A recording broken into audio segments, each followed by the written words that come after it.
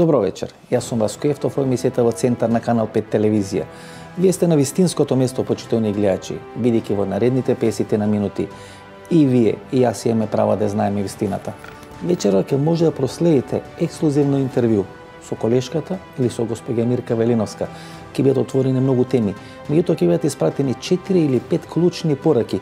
Тоа се пораките кои во изминатите 7 дена администрацијата на Доналд Трамп ги испрати до македонските власти или до одредени субјекти во Република Македонија кои се борат против оној процес на сороизација или елиминација на структурите на Сорос од македонската политичка сцена. Тие 4 или 5 пораки се следните. Издржите во наредните 12 месеци, бидејќи администрацијата на Доналд Трамп стои зад Република Македонија. Како второ, нема да имате проблем со албанскиот национализам и со албанската платформа, со која албанските партии сакаат да ја дестабилизират македонската политичка сцена. Како трето, нема да има промена на името. И како четврто, Македонија нема да стане членка на НАТО, туку ќе има билатерални односи со американската администрација и со Пентагон.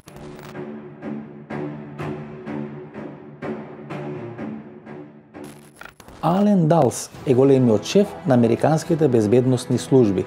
Во период од 1953 до 1961 година Ален Далс е начело на американската ЦИА. Тој е автор на американската стратегија или на американската доктрина за борба против Истокот.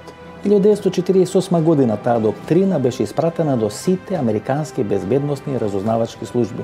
Таа доктрина е составена од неколку точки, што значи дека е концизна и многу прецизна. Ние ќе презентираме три или четири клучни точки на таа американска доктрина. Во таа доктрина се вели, војната е завршена, полека ќе изградиме и ние ќе дадеме се што имаме, сето злато, целата материјална мок, за да ги направиме луѓето како магариња и да ги полудиме. Акцентот се става да ги направиме луѓето како магариња. Човечкиот мозок, свеста на луѓето се склони кон промените. Посееме ли тамо хаос, ние неприметно ќе им подметнеме лажни вредности и ќе ги принудиме тие вредности да ги прифатат. Како? Ние ќе најдеме истомисленици, своји сојузници и помошници во нивните татковини. Малку по малку ние ќе одиграме грандиозна трагедија на смрт на сите православни словени и конечно и неповратно ќе изгаснеме нивната национална свес. Акцентот се става смрт на сите православни словени. Литературата, кината и театрите ќе ги слават најниските човекови чувства. Ние на секој начин ќе ги подржуваме оние кои ќе го всадуваат во човековиот разум култот на сексот, на насилството, на садизмот и на предавството. Со еден збор, секоја неморалност – Во управувањето со државите, ние ќе предизвикаме хаос и неред. Акцентот се става во управувањето со државите, ние ќе предизвикаме хаос и неред. И сосема мал број на луѓе ќе свата за што станува збор, но таквите луѓе ќе ги ставиме во беспомошна положба. Ќе се исмејуваме со нив, ќе ги клеветиме и ќе ги прогласуваме за отпадници од општеството. Што прават денешните медиуми под контрола на Сорос? Го прават токму тоа што го пишува во оваа стратегија.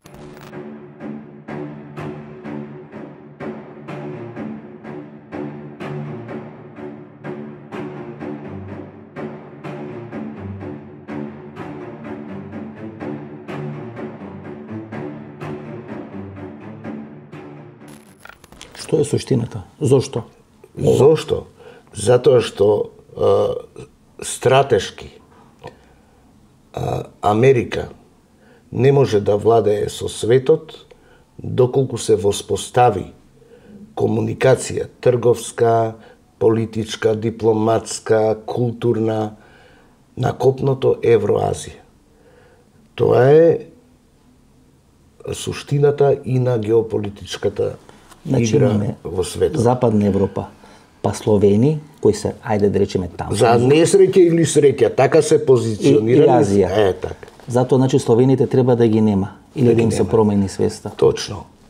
Они паралелно со ова, да ги снема или да се оневозможи а, а, собирањето организирањето на словенските народи или држави, нивната блиска комуникација, а, а може да се спречи преку активирање на исламската трансверзала, односно а, американските стратези од рангот на Бжежински мислеа дека треба да се проба во предизвикување судир меѓу православните христијани, односно словени, доминантно и муслиманите.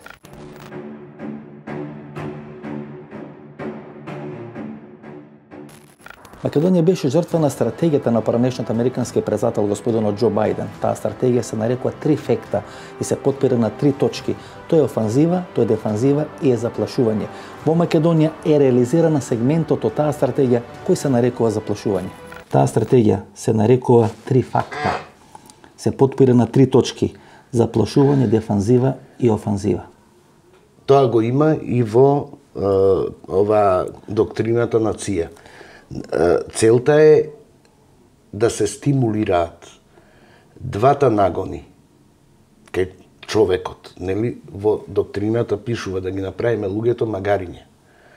Да им ги стимулираме стравот, стра, со стравот иде дефетизам, неактивност, парализиран мозок и да се а, апатизира населението, да, да ја изгуби надежта. Ке нас е заплашување стратегијата. Да. И оди во три фази, или преку три инструменти, или преку три алатки.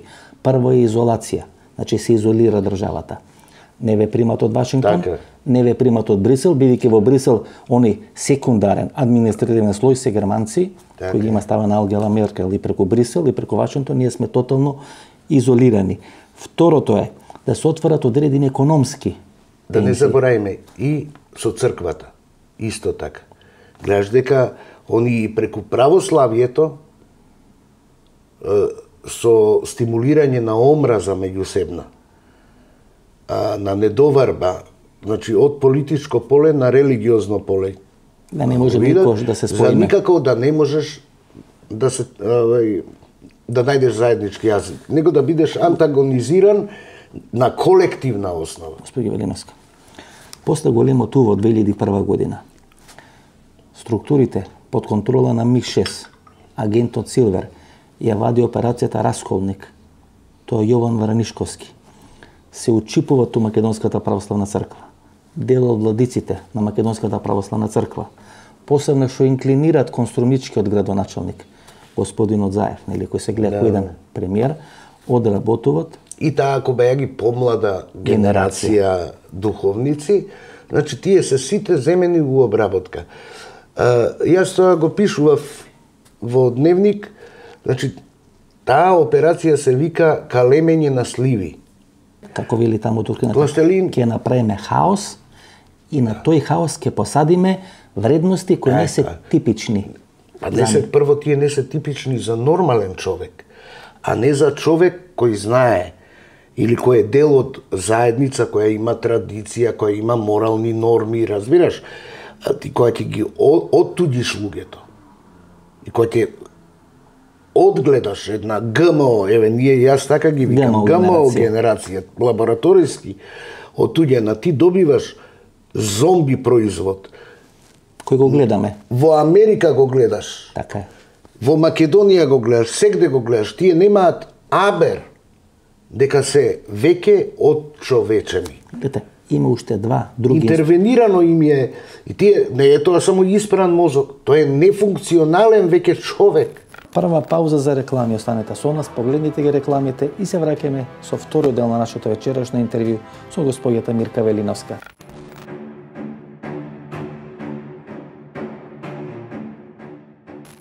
Што е суштината на македонскиот конфликт со поранешната администрација во Вашингтон? Проблемот настанува 2008 година кога Македонија не станува членка на НАТО на самитот во Букурешт. Во тој временски период Македонија менува својата стратегија и развија нова стратегија која се подпира на две точки, тоа е брз економски раст во тоа на Македонија и помагат одредени израелски безбедносни и економски структури. И вториот факт или втората стратегија е брзо развивање на Министерството за внатрешни работи, посебно на петата управа во на тоа Министерство за внатрешни работи. Таа близкост помеѓу македонските структури и израелските структури. Некаде 2010-2011 година почнува да им смета на американската администрација тогаш почнува политичката криза во Република Македонија која трае до денешен ден. Ударот е во две насоки економски да се дестабилизира Република Македонија и да биде дестабилизирано Министерството за внатрешни работи.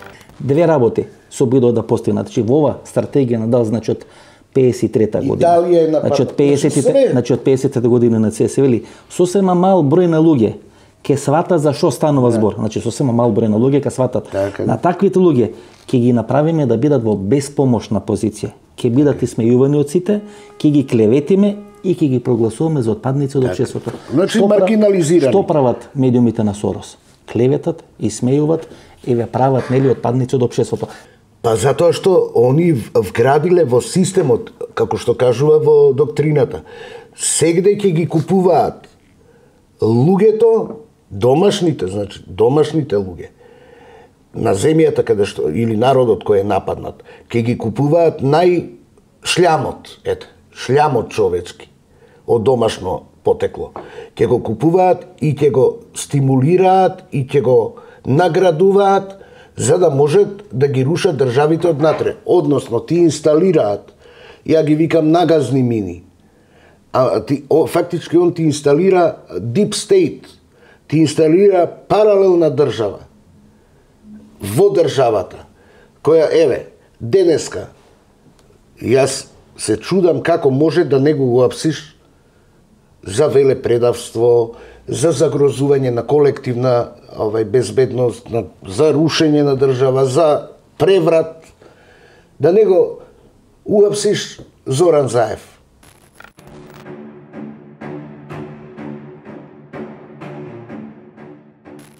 Таа американска стратегија три фекта се подпира на три точки. Автор е господинот Џо Бајден и таа е реализирана изминатите две или изминатите три години. Првата точка е изолација на Република Македонија или потполно попречување на нормална комуникација помеѓу македонските власти, македонската влада, македонскиот председател со администрацијата во Вашингтон. Втората точка е изолација на Македонија од структурите во Брисел.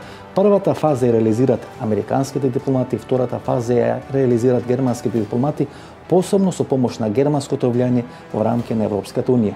Следната фаза е предизвикување економски и социјални потреси во Република Македонија, како што беше направено во Турција во времето на Тај Пердога. На тој начин се смета дека најголема масовност може да имаат протестите по македонските улици и да биде дестабилизирана или да биде сменета македонската влада.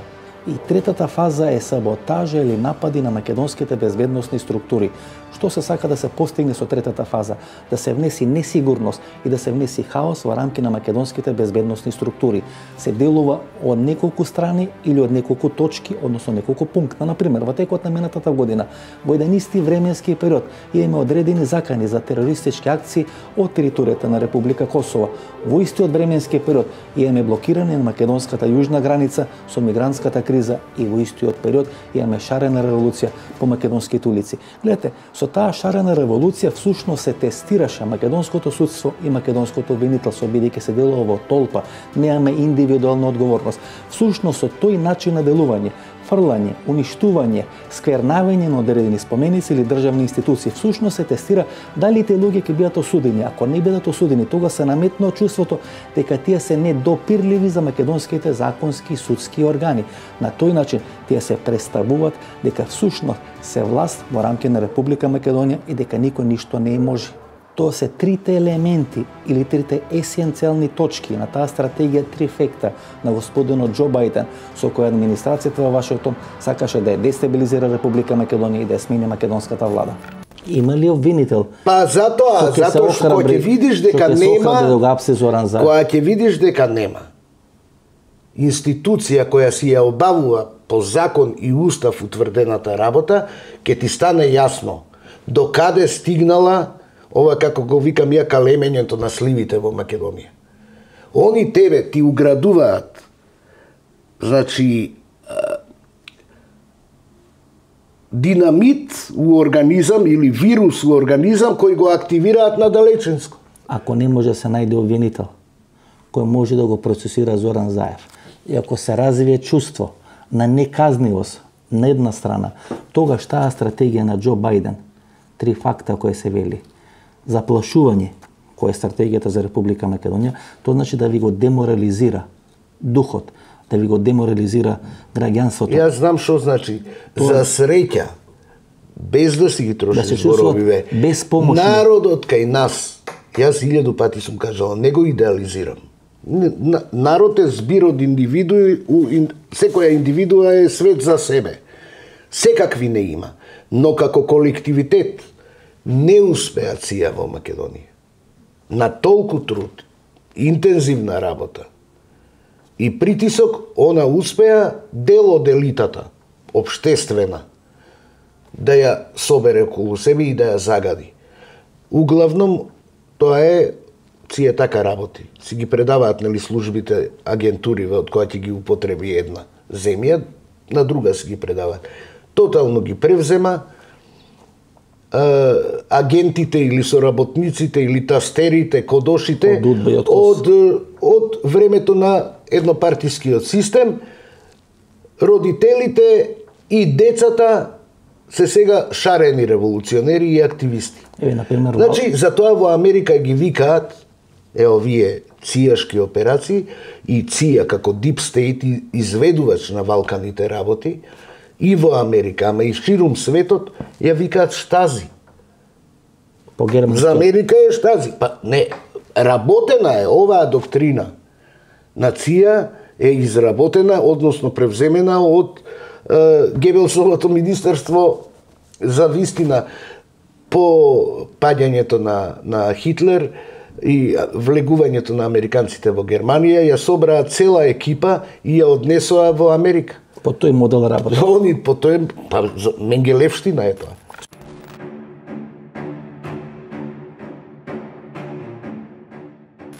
Ова е корицата или насловната страна на книгата The Big Bridge, пишена од поранешниот агент на британската агенција или тајната разузнавачка структура МИ-6, господинот Ричард Томилсон.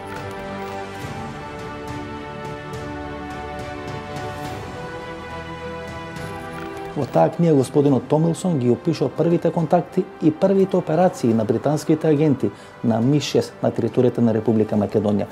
Тоа се случува некаде 92-93 година, значи пред да биде отворена британската амбасада на територијата на Република Македонија. Во тој временски период се воспоставени првите контакти со агентот Силвер и неговата разузнавачка структура на територијата на Република Македонија. Со помош на таа разузнавачка структура, оперативците на МИШЕС проведоа две суштински или тектонски операции на територијата на Република Македонија. Тоа е големото во 2001 година и тоа операцијата Пуч која почнува 2014, 2015 и 2016 година. Албанците, албанска платформа. Гледате, таа структура која сега во ДУИ, беше работено од француските служби, целата структура на ДУИ или на УЧК Таа беше прво марксисти или ленинисти, таа беше работено знаеше со... француски, кога Саркози одлучува да се повлече од Балканот и ја предава таа структура на ЦИА. Значи како ова што беше од Коси од Удба е предадено на ЦИА, така и структурата не, така, не на УЧК се предадени. Не си доволно точен. Мистер Стивенсон ги Велика работи... Британија Мистер... ги зема балистите. Бали Комптар, после поразот по на... моите информации, по моите информации, Рамуш Харидинај е британски играч, Хашим Тачи француски, сега амерички играч. Значи, Хашим и... Тачи не е сега, не бил француски, француски беше на Медлин Олбрайт. да, фактички нација преку Усаид. Предаден преку французите. Французите бидејќи базата им е у Швајцарија. Емиграцијата им е у Швајцарија, Ако, тоа преку не. Швајцарија ги додат.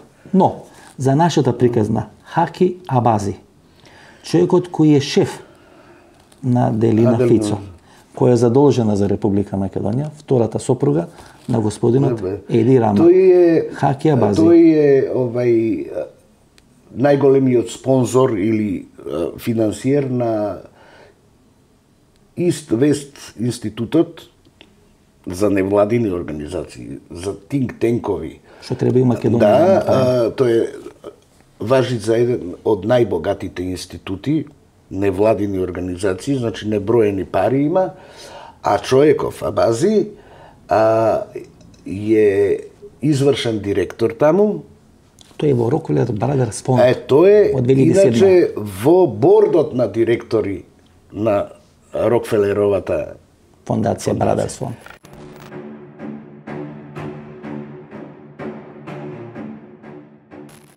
Еве како изгледа господинот Хакија Бази, кој е главен во таа Рокфелерова фондација, која е задолжена за делот на Западен Балкан. Тоа е дел од најтесното раководство на известен институтот кој треба да делува во рамки на Република Македонија, еден од најголемите или најдобрите репрезенти на тоа албанско политичко лоби на територијата на Соединетите Американски држави. И тоа е всушност човекот кој ги контролира и ги организира сите операции кои се насочени против Република Македонија. И нивната врска, а бази зашто е интересен, а, он е еден од спонзорите на американското албанско лоби, кое действува во Делавер, во држава, сојузната држава Делавер. И многу интересно, таму е а, учипена или членува а, соработничката на Џо Бајден, Габриеле, како се вика? Даниеле Гарбе. Даниеле Га... Гарбе. Гарбе. Значи, од таму доаѓаат иницијативите на конгресмените и на сенаторите за распад на Македонија. Еве, тие се членови на тоа братство, да речем, лоби друштво, преку нив. Ција ги дистрибуира своите а, незаконски криминални сделки и трансакции, една од тие е лиферувањето, трафикинг, како се вика, распространувањето на дрогата од Афганистан, која после интервенцијата американска таму, во Афганистан, е порасната за 55 пати. Можете да замислите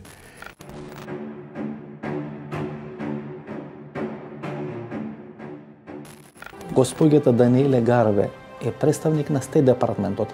Во времето на Кондолиза Рајс таа е нејзин специјален помошник. Меѓутоа својата кариера таа обавува неколку клучни функции, на пример е шеф офицер или шеф на дескот на Стейт департментот кој ги контролира или ги организира операциите на територијата на Република Турција. Има кариера во Либан, има кариера во Афганистан, има кариера во Шпанија, во Португалија. Значи стана збор за една маркантна личност. Всушност тоа е господјата која ма е надредена на господинот Джес Бейли и која всушност во рамки на Стейт департментот ги контролира и активностите на господинот Бейли и активностите на господјата Нуланд. Всушност, господјата Даниле Гарби беше главниот оперативец за реализација на таа стратегија трифекта на господинот Џо Бајден. Е, тие црни пари од ЦИА, фирмата ЦИА и уште две-три други фирми се перат повеќе пати преку фондацијата фондациите на Сорос и фондациите на Гулен. Со, значи, ако сакаме да ја видиме пирамидата на Deep State или на мочуриштето, што сака да го исуши Доналд Трамп во Вашингтон, треба да го имаме прво главата Џо Бајден, поштениот подпредседател на Обама, како шеф и координатор, потоа ова Даниеле Гарбе, Гарбе па по неа доаѓа Стейт департментот со УСАИД структурата, односно Викторија Нуланд, па под неа доаѓа а, Филип Рикер неговата екипа. Е. Дейвид Бургер и Рајан Стонер. Тие се учипени во македонската амбасада, двајцата се воедно деск офицери на Стейт департментот за цел Балкан. Координираат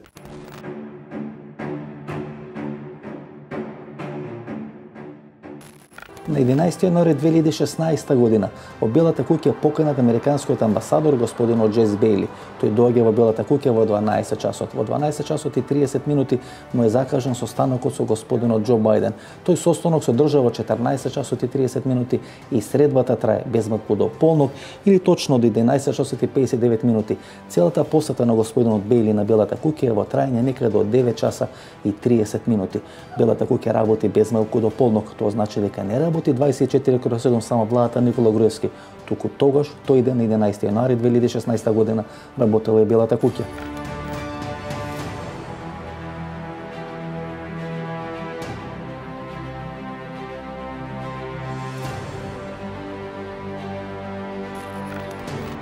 Тој ден господинот Бейли има оперативен состанок и со господјата Даниела Гарбе. На тој состанок е всушност скицирана целата стратегија и незината операционализација.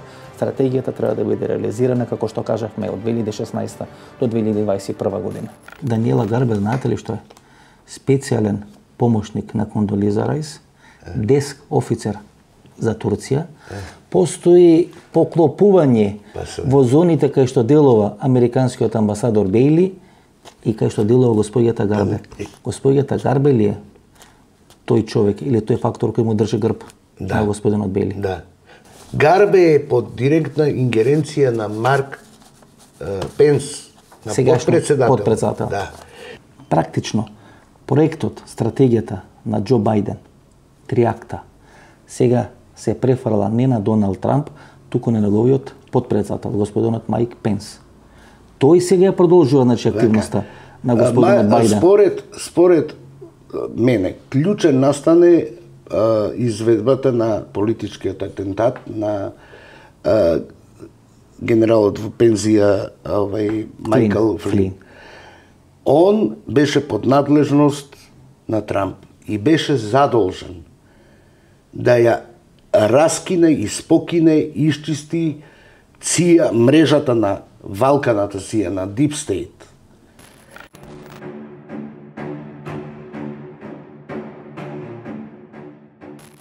Има еден интересен податок, почитувани гледачи, тој е дека на територијата на Република Македонија, од сите производи кои постојат во светот или од сите артикли кои постојат во светот, најмногу се увезува платина. Например, во текот на 2014 година, на територијата на Република Македонија е увезена платина во вредност од 978 милиони американски долари. На второ место увозот на нафтени деривати во вредност од 664 милиони американски долари. Увозот на платина се поврзо со името на господинот Бени Стајнминц. Тој е контраверзен израелски бизнисмен. Во врвот на неговата мок, неговото богатство се проценуваше помеѓу 7 и 8 милиарди американски долари. Денес неговото богатство се проценува некаде на околу 1 до 1,5 милиарди американски долари.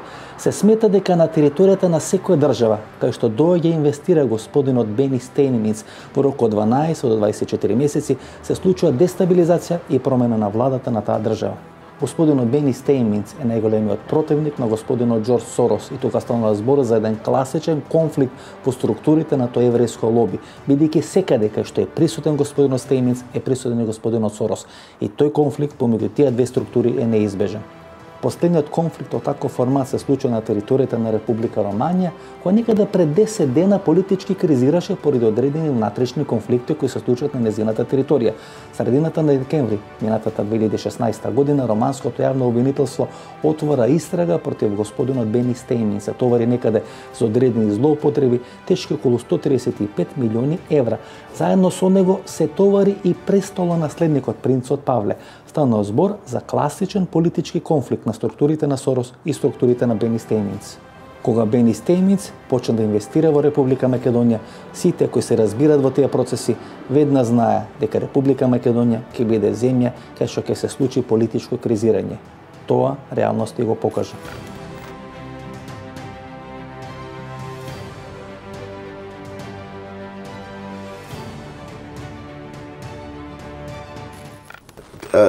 ти УСАИ да го расклопиш, ќе видиш дека е, програмата на УСАИите не да помага, туку да симнува од власт влади кои не и се допаѓаат. Така пишува, кои не и се допаѓаат. А во УСАИД ти е уклопена оваа канцеларијава ОТИ, која калеми, нели, која формира кадри за, за паралелна држава. И плюс оваја а, контрактер главен им е Аеко. Аеко. Е, зошто е заинтересиран Трамп за ова? Затоа што овој контрактор, чија задача е а, да ги подпира, да логистички да действува и да овај да ги охрабрува шарените револуции. Главна неговата главна задача е да ги добие на поклон минералните богатства и водата на државите што се нападнати. И она е овој, овој контрактор на УСАИД односно на ЦИА, е извршител на убиството на американскиот амбасадор во Бенгази. Амбасадорот морал да загине затоа што јавувал што работат.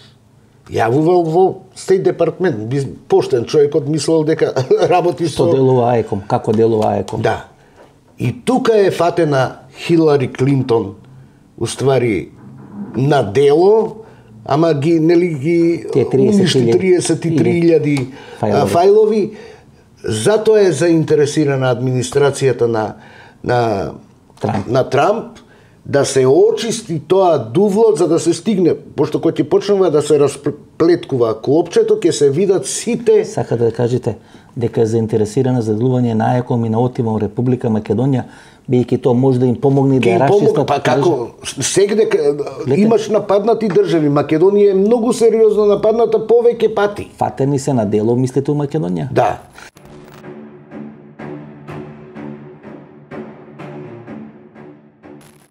Како функционира целата таа структура која требаше да даде одредена финансиска подршка на шарената револуција? На чело на целата таа организација или кровна конструкција е организацијата USAID, која функционира на територијата на Република Македонија и која се финансира, освен преку структурите на Сорос, се финансира од буџетските средства на Соединетите Американски држави. Главната оперативна алатка на USAID е организацијата ОТИ. Организацијата ОТИ всушност е оперативната сила на целата таа структура. Ако USAID се бави со одредени хуманитарни форми на делување на територијата на Република Македонија, тога структурата на ОТИ всушност функционира за брзи политички промени или брзи политички транзиции. Дели мали грантови во вредност од 50 до 100 илјади американски долари, може флексибилно да делува и всушност ги координира сите тие активности за промена на политичката клима и политичките структури во Република Македонија. Групацијата ОТИ има два свои контрактори. Едниот контрактор или еден соработник е структурата на АЕКОМ, кој делува во Република Македонија и вториот контрактор или вториот соработник е ЕСТ Вест институтот кој се формира во Република Македонија. Во неговото формирање учествуваат Младинскиот национален совет на Република Македонија, невладината организација АДИ на господинот Алберт Муслиу, фондацијата Сорос и структурата на Метаморфозис. Начело на АЕКОМ во Република Македонија господјата Елизабет Хелфскили, а таа функцијата доаѓа веднаш после годишните одмори. На 15 ноември 2016 година таа побарува сертификат на тајност за делување на територијата на Република Македонија. И тука се поставува прашањето почитувани гледачи, зошто одредена структура од типот на АЕКОМ, која е финансирана од USA структурата во рамки на Република Македонија, има потреба од сертификат за тајно заделување. Дали тоа може би има некаква корелација со политичките кризи и промени кои се случуваат или треба да се случат во Република Македонија. Гледате, АЕКОМ е формирана 2001 година, па замрзната и 2002 и истите господи, значи Фелпс и ова Мартинес, Мартинес присутни се и 2001 пошто политиката нема случајности. Лете, Филпс, Треба да ги знаете. Лете, Филпс Сили бара сертификат за тајност во делување. Така е. И сега ти ги гледаш структурите фактички, гледаш што они одработуваат. Тебе само ти се наметнува едно прашање. Зошто го таргетираат ВМРО ДПМН, односно Никола Груевски? Нели ти се поставува прашањето? Они си нашле контрактори или, како се викаат тие, шљакатори, Изведувачи. локални, на валкани работи. И 2001 со големото уво, истите играчи у МВР, и СДСМ као као глумажа, као маска, и сега со Зоран Заев е истото. И со Верушевски. Истото. И поставата ти е иста.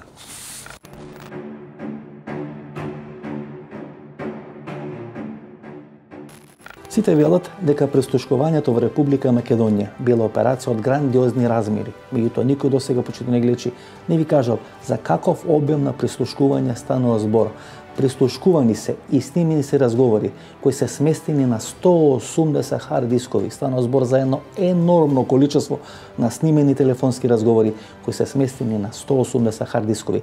Секој кој се разбира во компјутерска техника ќе ви каже дека снимени разговори на 180 хард дискови всушност значат огромно количество на снимени телефонски разговори.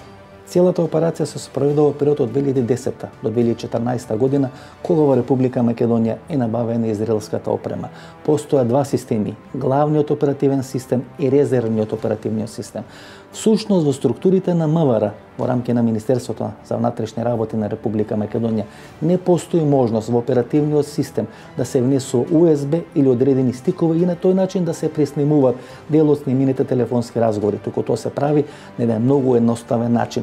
Не се користи главниот оперативен систем, туку се користи резервниот систем кој всушност треба да биде одредена бекап или резервна варијанта ако не функционира главниот оперативен систем три структури имале допир или имале можност да го користат резервниот оперативен систем во рамки на петтата управа на Министерството за внатрешни работи.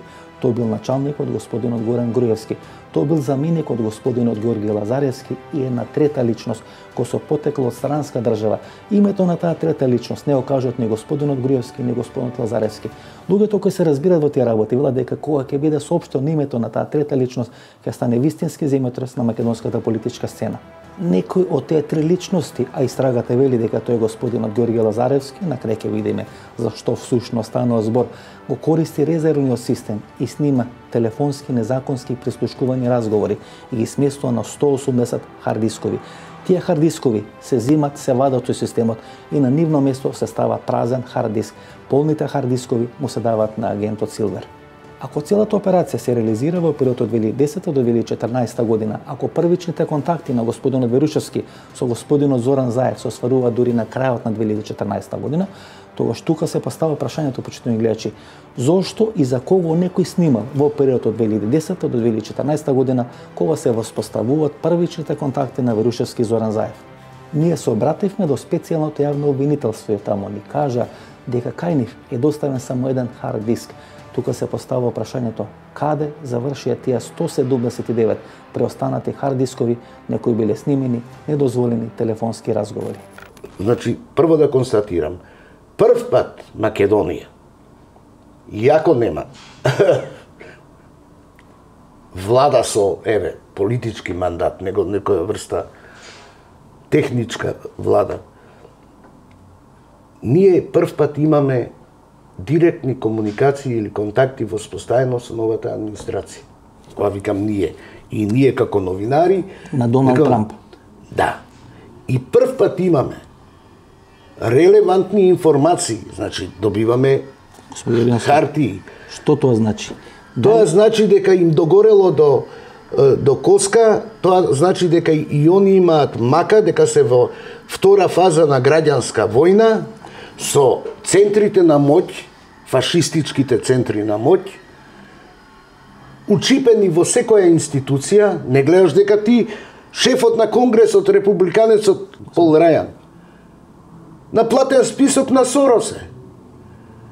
Не гледаш дека Мекейн, сенаторот на платен список на Сорос, имаше таму листа уште 6 души. Значи, Ти се треба тоа да го чистиш. За да не го чистат, за да го одложат тоа, Они го пучира, односно го е, елиминира, елиминира генералов Флин. генералов, кој уствари тоа требаше да го заврши пошто е поштен да човек не е купен. Да искини мрежата. Е, и сега зашто? И сега значи во моментов. Во моментов Тамо сега... постои робовска битка.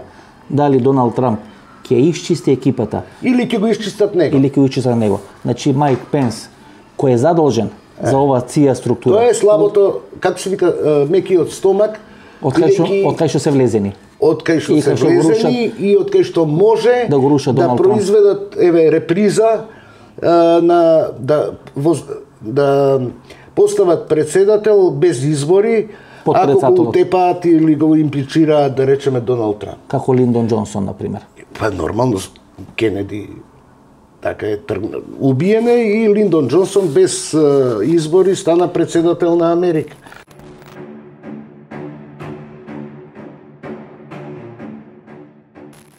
Играчите се исти, операциите се слични, Структурата на луѓето кои учествувале во операцијата Големо Туво и операцијата Пуч безмалку се идентични. Може би мотивите се малку различни, 2000 година, 2001 година, всушност амбиентот кој предходи на операцијата Големот Уво е малку поразличен, бидејќи тогаш на тапет е една мокна банка во Република Македонија. Тогашната влада на Лјупчо Георгиевски сакаше да ја згасне таа банка и на незино место да инсталира Македонска банка, бидејќи стануваше збор за живот и смрт или за одредено економско финансиско преживување. Таа банка која имаше силни упоришта во македонските безбедносни структури, ги инсталира или ги активира тие структури и тие структури всушност се реализираат операцијата Голема Туво. Многумина вела дека всушност војната 2001 година е само коинциденција или одреден сплет на околности кој следи после операцијата Големо Туво, бидејќи суштината на Големо Туво не е да предизвика војна во Република Македонија, туку всушност да ги заштити финансиските и банкарските интереси на едно мокно влашко лоби на територијата на Република Македонија. Што викаат американците за платформата на албанците?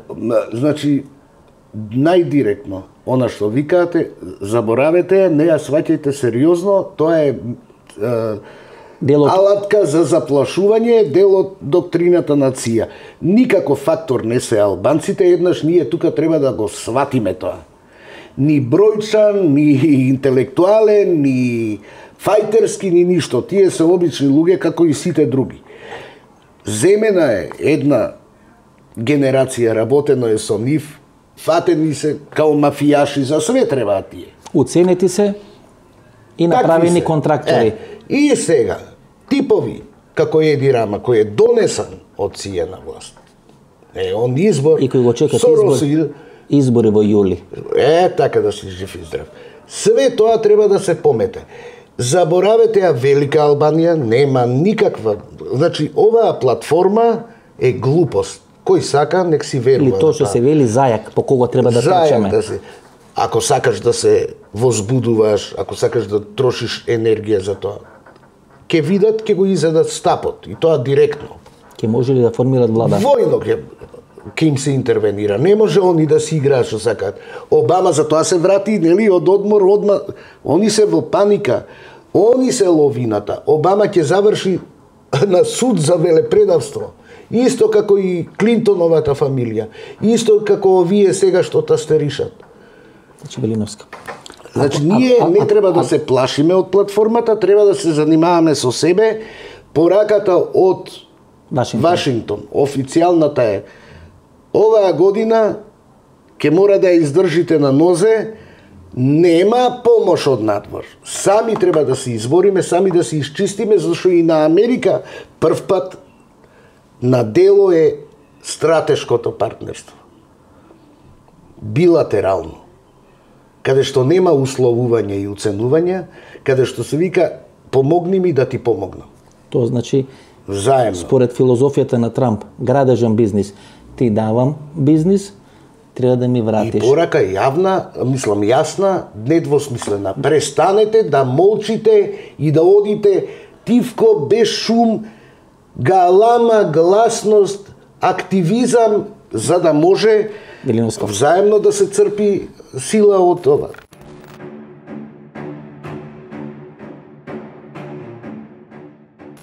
Како функционира мокната британска разузнавачка мрежа или структурата на МИ-6? Има два главни центри на територијата на Европа.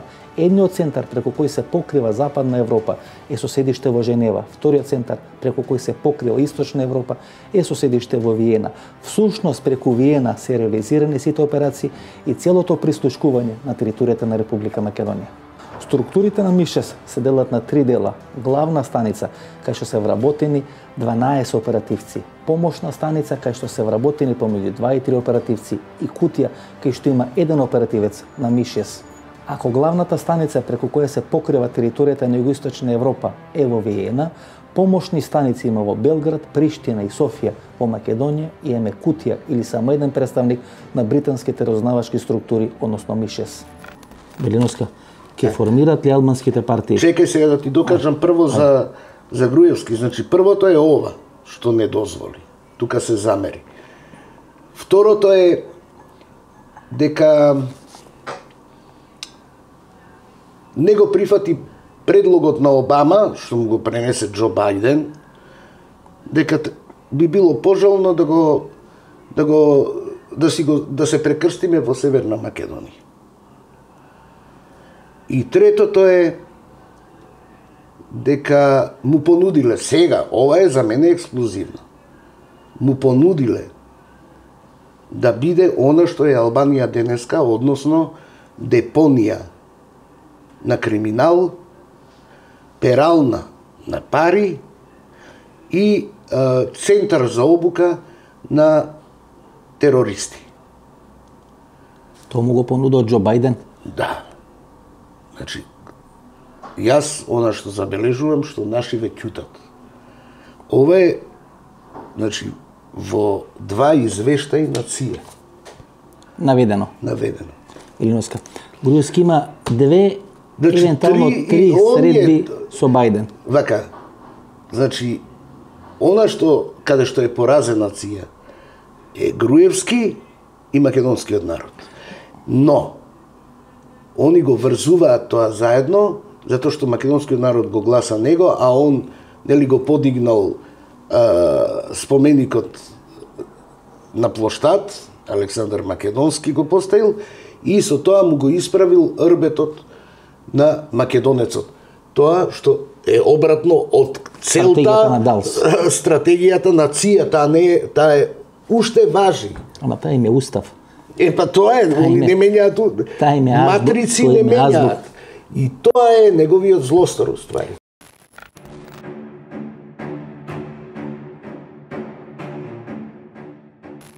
Повеќе од 90% од тие прислушкувани разговори кои се сместени на тие 180 хардискови, всушност се прислушкувани разговори кои се однесуваат на состојбите внатре во СДСМ. Само 10% од прислушкуваните разговори отпаѓаат на прислушкувани разговори кои се однесуваат на членови на владата на Никола Груевски и луѓе од неговото најтесно обкружување. На што се должи тоа? Агентот Силвер има добиена задача од структурите на МИ-6 да ја прислушкува работата и структурата на СДСМ, бидејќи таму треба да биде реализирана операција на менување на раководството. Тоа означава дека треба на чело на структурата да биде донесен човек кој ќе биде задолжен да го смени името на Република Македонија. При тоа не треба да заборавиме дека во ингеренци на британската дипломатија се сите отворени спорови на светската политичка сцена, кипарското прашање, македонското прашање, прашањето на Фолкландите, прашањето на Гибралтар. Значи сите отворени политички дипломатски прашања всушност се во ингеренци на решавање на британската дипломатија. Од тие причини структурите на МИ6 преку својот агент господинот Силвер или агентот Силвер влегуваат во операција на прислушкување во Република Македонија, влегуваат во операција на промена во врвот на СДСМ и влегуваат во операција на приспособување на СДСМ за борба до финално истребување со партијата ВМРО ДПМН, кој треба да резултира со политички промени, а подоцна со промена на уставот и промена на името на државата. Ова Даниела Гарбе, што спомнуваме, е присутна на средбата која има Бейли со поранешниот подпредседател на Америка, господинот Бајден. Тој е некаде 12 јануари минатата година. Подоцна таа средба се продолжува, трае 9 сати. Тука се ударени контурите на тоа што треба да се прави. Тоа е втората фаза. Менување на власта. Промена се на власта не во Македонија. секоја цена да Ке ја се сведат. направили влада помеѓу ДУИ и СДСМ. Кои се вашите анализи и информации кои Вака. доаѓаат од Вашингтон? Сега, ја што ќе кажам, не мислам дека ќе се направи, но и ако се направи. Еве сега у сите варијанти да збориме. Нема да трае. Значи нема да трае. Дали народ сам, дали председателот на државата, дали комбинирано сите, ќе си ги превземеме институциите уопште да не чекаат дека Америка ќе реагира и ќе ги спашава. се извинувам. Ако велите дека Завршувате. ако велите дека Обама, целата таа екипа Да, која е да е преку насочена. АЕКОН, преку ОТЕ, Не преку секој сите да тие действа. не, се извинувам, преку сите овие контрактори, дека ќе одговара за веле предасо во Ќе Америка. одговара, тоа го кажа на последната овај, 90 минутна конференција за Во четвртокот, во четвртокот, Да. Доналд Трамп. Готово е тоа. Како се тогаш- собира материјал од сегде каде што действувале они. Се. Може да имаат Ако- цијаши, а- ама немаат војна сила Ако и немаат полициска сила. ќе одговараат во Америка, како контракторите или извршателите нема да одговараат у Македонија, туку ќе формираат влада. Тоа ми е прашањето. Да, да, ама нема да формираат, него е, овие што се од Америка ќе бидат да, маринци ќе ги спроведат горе, А овие што се домашно потекло, ке нашите органи ке си служби ке си Ние ги имаме, тех, третираат. ние имаме техничка влада во моментов, условно речено, кој има ограничени ингеренции. Имаме председател на држава, кој има полн легитимитет да може да функционира. Имаме Има- фаличен устав, Имаме фаличен устав, Имаме закана за мигрантска криза, Да. значи на чекање стојат 70.000 бегалци. пролетва се ќе. Значи 70 во моментот стојат на чекање според сите информации. Имаме кризир, 35 милиони се. имаме кризирање на јужна граница, блокирање на јужна граница, очекување дека ќе кризира Грција. Имаме Избори во Албанија 3000 е, терористи на обука. во моментов, Да. на исто место муслиманско братство, дугото. муслиманско братство, Фето или Фатула Гюлен и Сорос, центарот во Албанија. Тоа што требаше да биде Македонија. Нашиве треба да се свесни.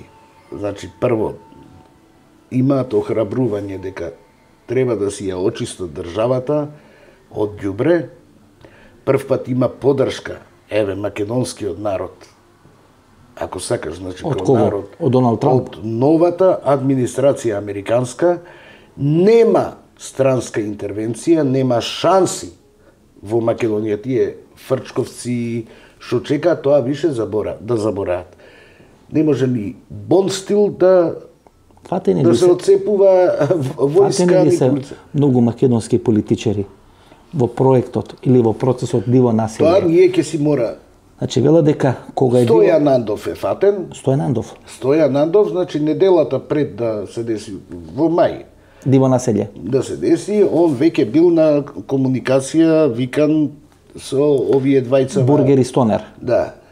Така да, он е познат по тоа, уште за времето на Вандерштул, кој дојде, ако се сеќаш, у Пулс, да не извести дека човекот е матен, а, он е као лисица, се спасува. И и преку околу името. законот за лустрација за да го што го предлагаше за да го исконтролира за да не може него да го допрат.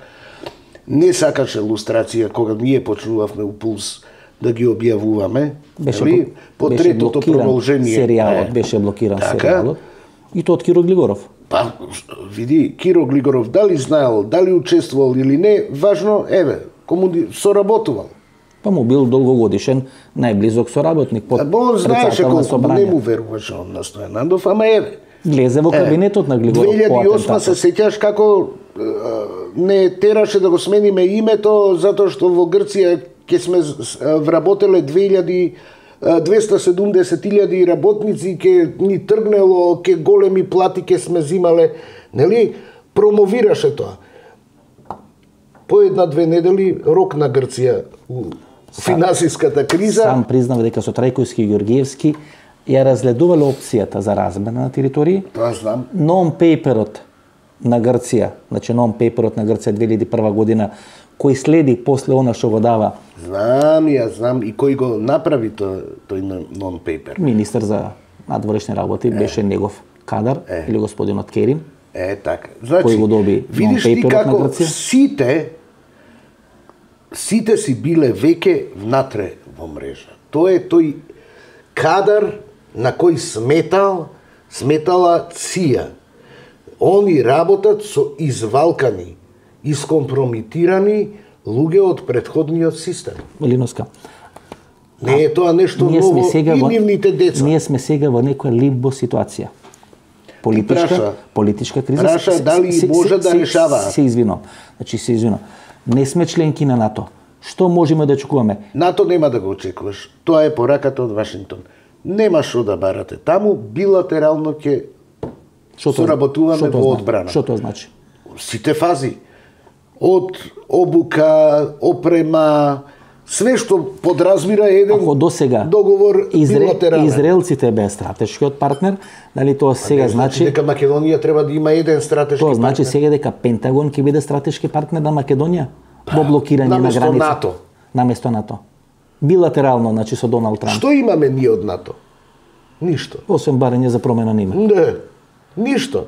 Велиновска, во моментов Значи, ние А, немаме сега опасност дека некој ќе не нападне. Албанците се провокатори, ето, така и треба да се земат, освен ако не се наивни, дека и меѓу себе си се чистат не сакајки. СДСМ е вон од игра, со остатоци од пари, но и тие ќе треба да ги изгубат, бидејќи еве, тоа што знаеме, што треба, кои институции во Македонија треба да си ја земат сериозно работата во свој раце, бидејќи немаат уставни законски пречки. Кои се тие? Прво е агенцијата за перење пари, тоа потеклото на, На пари. парите. Прилив на пари, прилив на средства. Све тоа треба да се нотира и за да се пресеча таму, а ако се дојдени да се конфискува. Значи дел од проектот за десориозација, тоа сака да кажете. Не е само дес... така се вика, така го крстија. Меѓутоа, АЕКОМ, чистење на мрежите. Преку USAID, значи Да, чистење на мрежените. Податоците од нашите искуства треба да се праќат, тоа е соработка.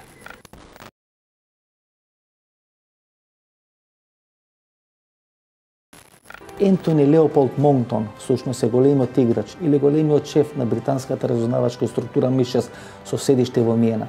Тој е човекот кој ги предизвикал политичките потреси и политичката криза во Република Македонија. Монктон почна да работи на политичката криза во Република Македонија од 2011 година. Користи две алатки или има два оперативни системи. Првиот систем е Spice Case или случајот шпион и вториот случај е Plot Case или заговор случајот. Во безбедносната заедница господинот Монктон е познат како господинот Одос или господинот Озирис, односно газдата или големиот мајстор на сите тие подземни игри во разумнавањето на Балканот и во Југоисточна Европа. Својата мрежа почна да ја формира 1986 година и делува територијата на Виена. Учествува повеќе политички скандали и политички пристушкувања одредени политички кризи од Словенија, Хрватска, Бугарија, Македонија, Србија и Полска. За малку ќе заборав да ви кажам, почитани гледачи. Програмата или операцијата на лордот Монктон за политичко дестабилизирање на Република Македонија е под кодно име Синдикат. Значи агенција за перење пари. Втората Втората е а, управа за даноци, како се вика. за јавни приходи. за јавни приходи. Третата е а, Јавното обвинителство предпоставам. јавното обвинителство, но ДБК. ДБК, кој е како швајцарско сирење работено, треба да си ги исчисти тие средните калемените редови, бидејќи уште се активни. ДБК. Не само ДБК, у цело МВР. После средбата со со Хан, Значи? соопштение имаше кабинетот на председателот кај што вели при формирање на новата влада ќе инсистира на две работи, зачувување на унитарниот карактер на државата и чистење темелно на безбедносните структури. Што тоа? Што тоа? Генералка, бре, генералка. Ке се тресе секој ќоше. Ако во Америка, која го упропасти Значи светот, УБК ќе биде ќе биде чешлана. ти вика, ти вика дека ќе го суши мочуриштето и се крена, гледаш, целиот естаблишмент во сенка, сите корумпирани, гледај, Обама сега се активира. Ќе води покрет за рушење. Значи, ако таму рефлексиите можеш ли да замислиш ако таму се дешава вака, какви се на локален терен? Сите имаме за чистење. Дали е нормално? Шефот на ДБК 2001 година, кому се случува големот уво, сопругата вработена во една амбасада, случајно таму. австријска амбасада. Стафот сега што е во петтата управа, во ДБК или во УБК, барем 10 луѓе, сопругите вработени во клучни Така да си амбасади. жив и здрав, ете го тоа. И сега, началникот на ДБК, жена му работи у амбасада. Абе, тоа е како да немаш Веројатно овие на двајца од ВМРО воопсе, си мислеле дека воопсе. види ние сите сме а, симпатизери на Америка, па ако работат у америчка амбасада, тоа друштво. Тука, заеднички. Замисли, види ја логиката. И два пати не пробиват. Е. Два пати не пробиват. Среќа него пробија неколку акции што ги спреми Иванов. ДБК. У Бродецу, замисли ако ги пробиеше. Велиновска. 93 година во книга на еден од клучните оперативци на Балканот на Велика Британија. Значи 93 година МИ-6 влегува прв пат во Република Македонија. Агентот Силвер и што е многу битно, Ѓорги Мартиновски. Еден од клучните играчи. Го забораш Тим Себастијан. Значи тој мислам дека има пишувано и таа книга. Тим Себастијан го најави атентатот на Киро и кидна после тоа у Камбоджа. Ја го ловев низ Лондон. Тој агент.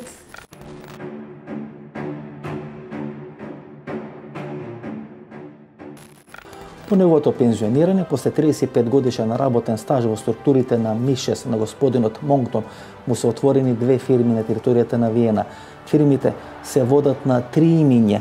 Првото име е Рори Филд, неговата десна рака кој е главен извршен директор со 37 годишно работно искуство. Второто име е господинот Ентони Леополд Монтон, кој има исто така 37 годишно работно искуство. И третото име, или тој е раководител на истрагите, е господинот Едвард Ален. Е го сертификатот за отварање на првата фирма, таа отворена нека десната 2015 година со име Виена Лист LTD. Таа фирма е фирмата на господинот Монтон, која е регистрирана на името на неговата сопруга. И го подписот на господинот Монтон, со која се официализира формирањето на таа фирма. Последните промени на адресата на таа фирма се направени на 8 март 2016 година. Еви ги генералите на таа нова фирма. Вие пишувате за лордот Монктон човекот кој спроведува операцијата во Македонија, последната операција во Македонија. Се кажува дека тој човек, заедно со господинот Рори, имат формирано фирми 2015 година во Виена. Преку тие две фирми, жена и на Дейвин и на Дейвид Жена Стил. на Монктон, да. Е, номинално е као тројца се таму, значи и фирма на Дейвид Стил. Преку тие фирми се собирани информации за компрометација на Доналд Трамп. Што, ти се отвара. Што велат господја Велиновска? Кај се британците сега у целата ситуација? Британците си се дупљаци, они совршено добро, пошто стварно имаат интелигентна не е дека ги поштувам, него знам дека имаат функционална и интелигентна е, логистика, политички, политичари спремни и они имаат визија за себе. Они знаеа дека ќе пропадне проектот на глобалистиве. И излегоа. Знаеа дека не може да победат. Со инстинкт и искуство знае и избега со Брекзит.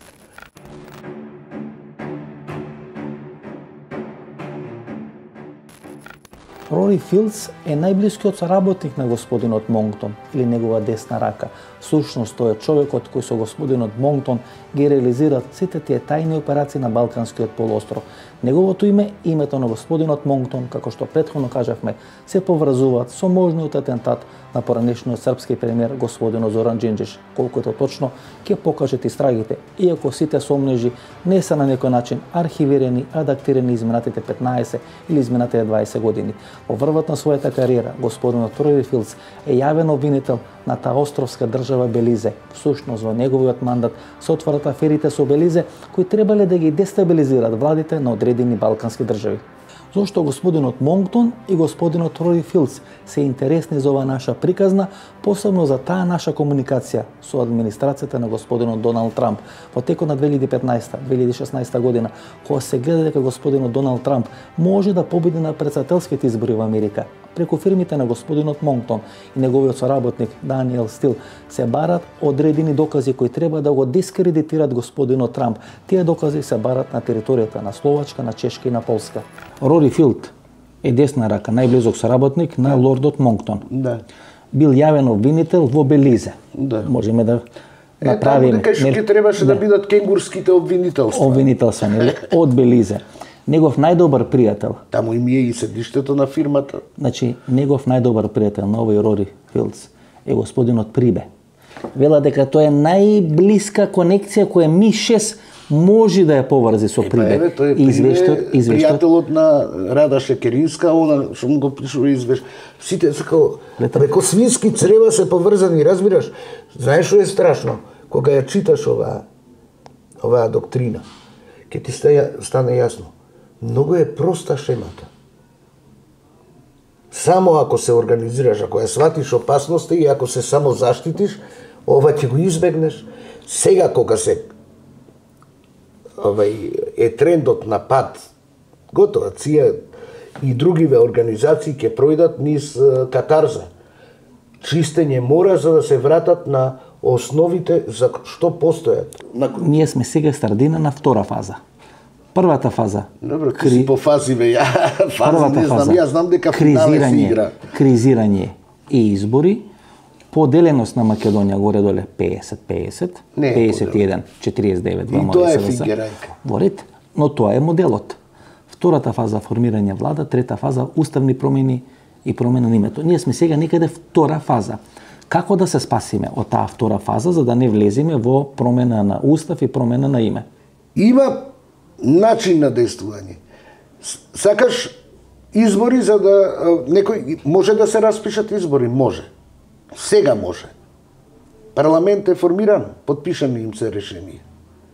Може да се иде на избори. Нема председател на Зашо? парламент. Председавач на парламент не може да распише избори. Нема председател на парламент во моментов. Како не може? Собранието може Има да тој, распуши. има и тој. Може да распише избори. Пред време државата прво вака не размишљај као за нормална ситуација. Криза е. Криза која може да заврши, да речеме, погубно. За среќа не може. Да беше старата администрација, да, до сега ќе завршеше погубно. Не може.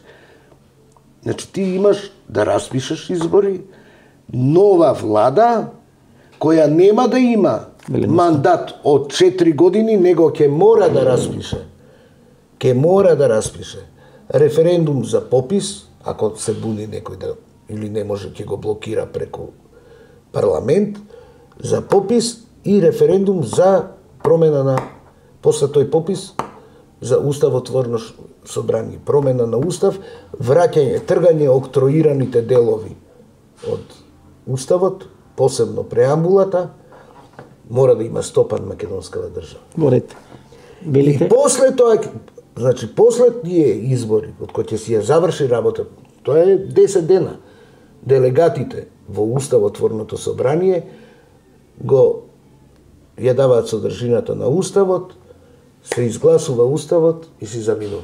Не може албанци ќе си правеле паралелен, па ќе сме се одцепуеле други институции, тогаш ќе игра стапот. Или Велиновска, војска или ова. Велиновска, за да се распушти парламентот и да суден избори, 61 пратеник. Во моментов, ВМРО нема 61 Па пратеник. што ако нема? Од кај ќе обезбеди 67? К- како може ЦИА да обезбедува, не може Мак- Македонска партија. Ке има ли сила државата да суди луѓе за веле предавство? Ке има.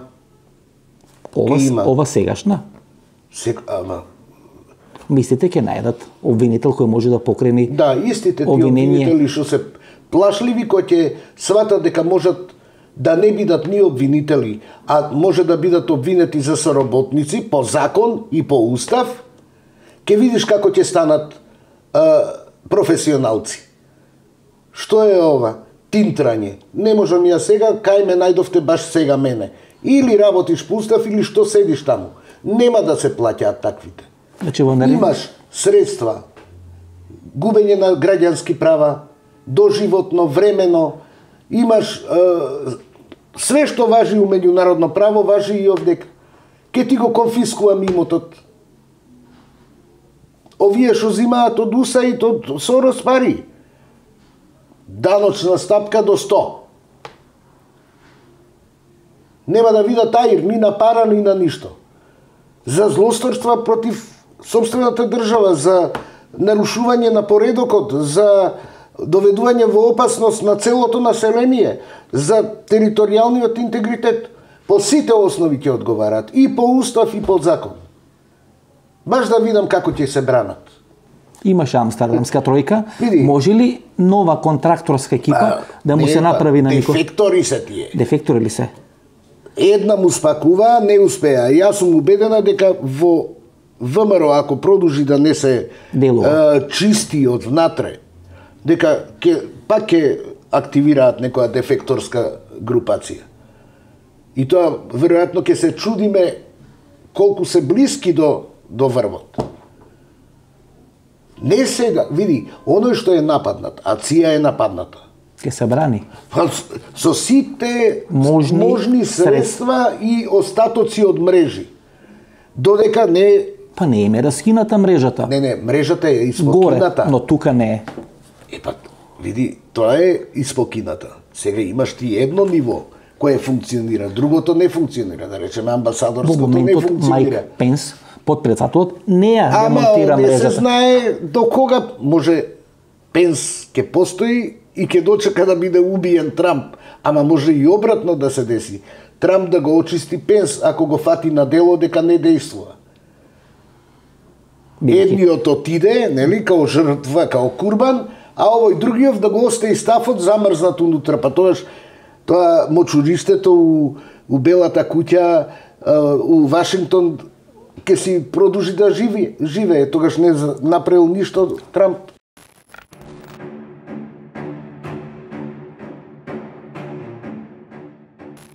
Целата структура на ДУИ, која потекнува структурите на УЧК до 2008 година, се под контрола на француските разузнавачки структури.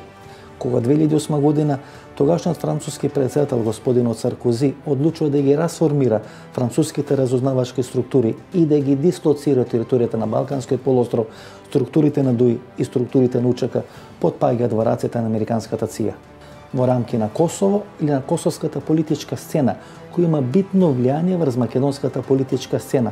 Поделбата е следна. Господинот Хашим Тачи беше соработник на француските служби и не си има блиски релации со американската ЦИА.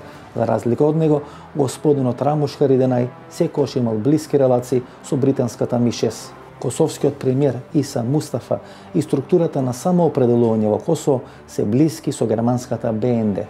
Германската тајна полиција БНД преку својот агент кој е познат во културното, политичкото и журналистичкото милје на албанскиот кампус на територијата на Република Македонија е инфилтриран и во партијата БЕСА. Тој човек за тие своји активности преку централата на БНД во Тирана и преку една голема албанска телевизија, чиј дописник е тој од територијата на Република Македонија, месечно му плаќа 2500 евра.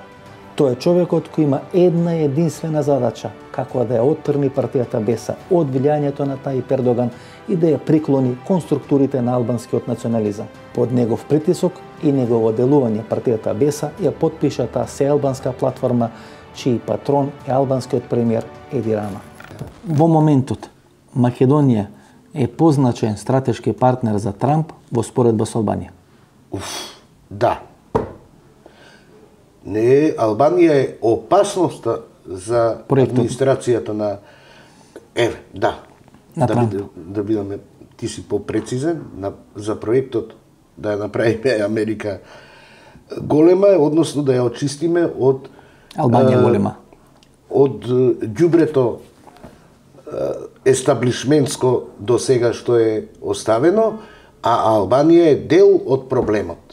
Бидејќи таму, таа е земјата каде што последен стапна бившиот директор на ЦИА, бараше од својот штитеник Еди Рама. Еди Рама да ја дестабилизира ситуацијата на Балканот, за да може пак да ќарат некое време, па да еве организираат конференции, па да менјаат влади, па све што поише хаос да се направи за да може овој да биде неуспешен или да го натера да се инволвира пак у интервенции странски и тоа. И затоа е пуштена таа платформа. како процена од британците и администрацијата на Клинтон и на Обама во заменување, слаб е на човечки ресурси Трамп за Балканот, ќе кризираме во Македонија и на Балканот. Тоа се нивните Па не е процеси. само во Македонија, баш цел Балкан го кризираат, као што гледаш. Нели? Трамп Нигде не. ќе притиска за промена на име. Нема шанси. Тоа прашање заборавете. Нема да се занимава со тоа. Знае дека е тоа непристојно. Нема да може тоа да го прави. Лобирањето е замрзнато. Кога е замрзнато, тоа значи дека и грчкото лоби е замрзнато. Не може да купува, да плаќа сенатори, конгресмени. Ти мислиш дека за джабе му се лути на Трамп? Ги донесе тие executive orders. Исполнителни се. Значи во наredните 10 месеци ние треба да се завршиме Ние нашата домашната работа. задача. Дали има сила, има сила. Македонија ќе си ја најде. Да. Она е сама сега на сцена. Така рекле. Не чекајте од нигде помош. Балкани 10 месеци. Валкани, возбудливи, ја само сакам да ти кажам. Уопште не е страшно и драматично. Прв пат се согласувам со тој словенец ли е, шо е тој жбогар. И Богар. Не драматизирајте. Ние сме склони, некој ќе каже нешто лошо и ние а, нема. Него има Шпанија живееше 18 месеци без влада. Белгија две години. Никој не падна у несвест. Ке има влада, а, ама јас пак ќе кажам, таа нема да биде со долг мандат. Додека не се структурира чиста политичка или плурална атмосфера во Македонија. Овие партии што ги знаеме, некои од нив ќе згаснат, овие дефекторите во предходнава серија, значи Лазаревик, Димитров и Кекеновски. Нели тој од нигде се појави. У ВМРО беше, неуспешно беше кандидат за председател. Имаше кандидатура за председател. Се наути зашо не го играат и стана види го дефектор. Ги разоткрија ги шитна. Кој знае кои се сега следниве со кои работеле у меѓувреме. Значи таму треба да се очисти самиот кажуваш да сама е пуна. Дуи. Дуи веќе не ни крие, они нели Они Питер Феј тоа се, го, се гордеат они. Се гордеат, сега више нема да се гордеат, пошто ќе бидат оставени сами на себе. Па кој ќе преживее и ќе раскажува. По моја проценка најстабилен и најчист ќе биде овој како се вика Мендух Тачи. Не го симна од црна листа, не слуша ни Тирана ни Приштина, не го играат, не мрдна ни горе ни доле, он може да преживе и да порасне. Ахмети сега му е послед, ама унутра му се напукани странски службеници. Тој што му е споксмен, Артан Груби е агентура на Холандија. Таму каде што е Холандија покриена со агенти, таму е и ЦИА. Контрактори се. така да, чистка или генерална чистка, зато се вика темелно се менува поредок. Се менуваат правила на игра. Се менуваат фундаменталните принципи на кои ќе се заснова светската конструкција, но и а, законите, моралот, нови вредности, нова парадигма која се гради. Тоа е темелна и болна е. Нова Македонија. Е, сега, оваа Македонија треба да се ослободи од е, нашите штази, стари, значи, овај, кодоши, кои прешле унапредено во НГО активисти, односно станале соросоиди, и уште се петлjaат во валканите работи ги одработуваат за странски служби. Е, она што пишува таму у доктрината. Работат на на декомпозиција на националното ткиво. Сам се сведок, нападната беше у собрание, до хистерија беше доведено појавата на македонска енциклопедија. Еден колосален, дури и да е фаличен проект, може да се дополнува, нели? Но Македонија меѓу 26 народи во светот се броја, значи, со своја енциклопедија. Направија све да ја урнат. Попуштија институциите као Ману и државата, владава, се повлекоа кој уплашени, значи, такво однесување, повлекување пред закани со сила е недопустиво ако сакаш да бидеш држава во права смисла на зборот. Така го деморализираш ти населението. Така ги пушташ унутра да те работа, да те сврдлаат, да ти поставуваат нагазни мини, да ти калемат сливи.